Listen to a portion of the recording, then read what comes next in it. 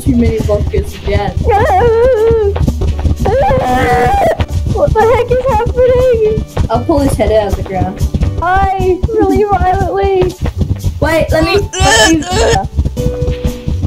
Nice, Have you noticed we- the floor that we're on? Hello, guys. Hey, guys. We, uh, we explore the magical, mystical being, having at its normal habitat, the elevator, as it finds food in a totally very normal way. It attacks any predators that go near. As example, as you can see, the predator is very angry now, and he wants to move to 69 to 13 because Friday the 13th and what the hell?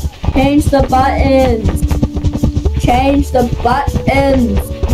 This is boring. Other than Sam spazzing through the goddamn wall.